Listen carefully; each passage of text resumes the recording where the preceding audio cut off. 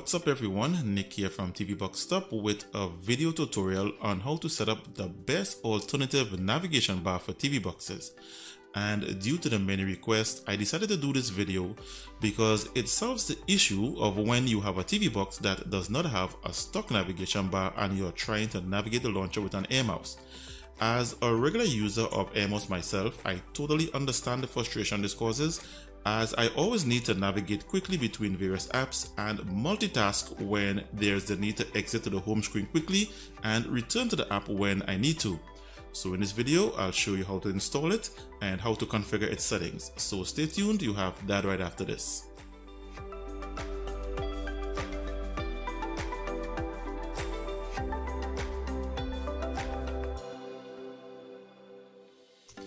Welcome back. So this is the launcher of the TV box called the HK1 box that's been receiving the most comments about how to install the alternative navigation bar as it's one of the boxes that doesn't have its own stock navigation bar or status bar. So the alternative navigation bar in question is an app called Menu Button and it's the only app on the Google Play Store that's designed specifically to work with TV boxes. There are other apps that provide similar features of course, but they don't integrate into the launcher and provide system control as this app does. So installing the app is very simple. Simply search for menu button on the Google Play Store and you'll see this icon. Click on it and hit install. And that's it for the installation process. So the first step in configuring the app is approving all the permissions required for the app to work. The app does not require your box to be rooted, so it will work on any box, including boxes running Android TV OS.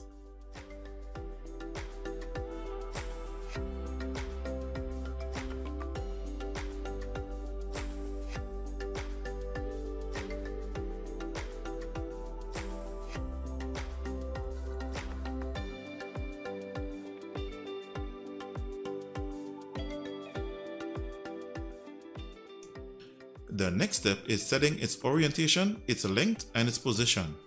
To adjust its orientation, click the rotation button here to switch between vertical mode and horizontal mode. To allow the bar to occupy the entire width of the screen, check this box. And you would want to check this box to make the bar automatically move to the closest edge of the screen as you drag it.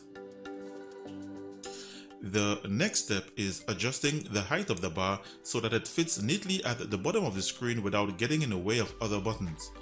And to do this, simply scroll down a little and here you have a size adjustment slider that you slide left or right to achieve your desired height.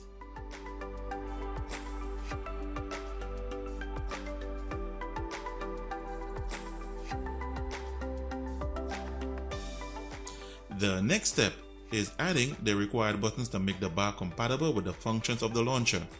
To do this, click the button tab to the top here and you will be presented with a list of available buttons that you can enable. You don't have to check all of them, only those that you will usually find on a regular TV box navigation bar. So I will check the hide button, I will check the multitasking button, I will uncheck the menu button, I will check the screenshot button, I will check the power button and I will check these volume buttons. Like I said, there are lots of buttons you can add to the bar, but only select those that are relevant. To rearrange the buttons to your preferred order, simply click these arrows and drag the buttons to your preferred position.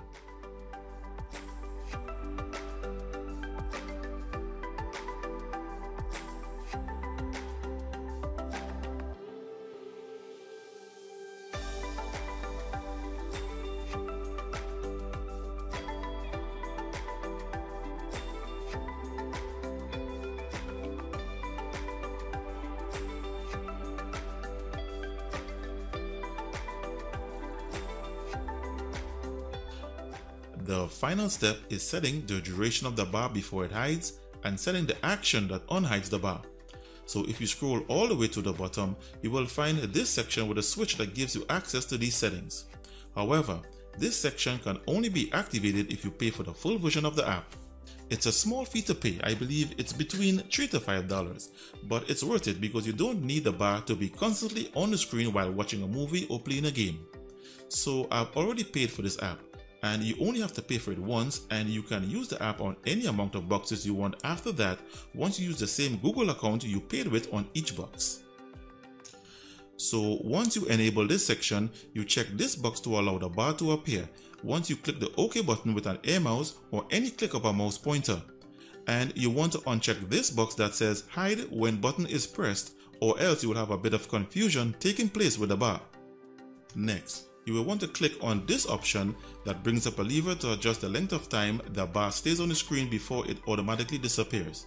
After testing this, I found that around 2000 milliseconds is just about the right length of time the bar should remain on the screen after you click with the pointer.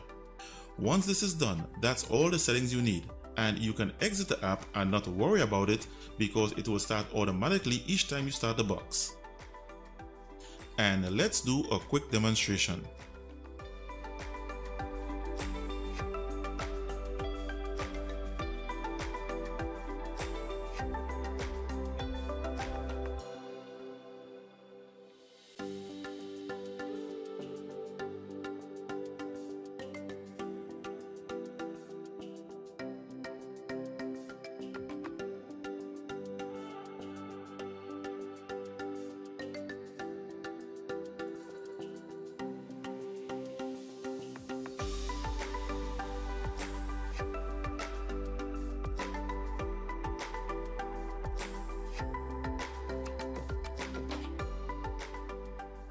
So viewers, there you have it.